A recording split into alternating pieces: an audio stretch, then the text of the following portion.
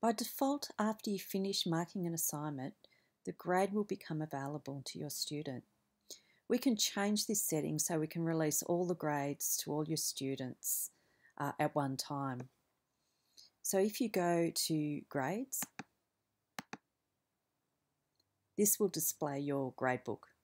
So you'll see all your grades listed uh, up the top. From their drop down menu, select Mute Assignment. And again, click Mute Assignment to confirm.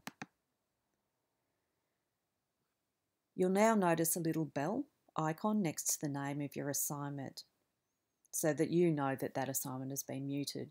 So now students won't be able to see their grades in grades. For Turnitin assignments, there's an additional step we need to take.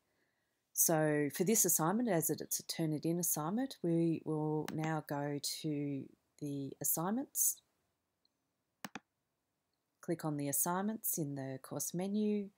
We'll go to our assignment link and click on the assignment link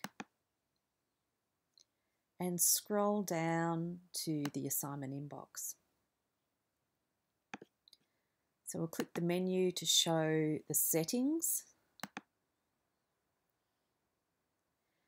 And now in the settings, we're going to set the feedback release date to the date when we want students to be able to see their grades. So I'm just going to change this date. And then click submit to confirm. And I've got a little notification here telling me that's saved successfully.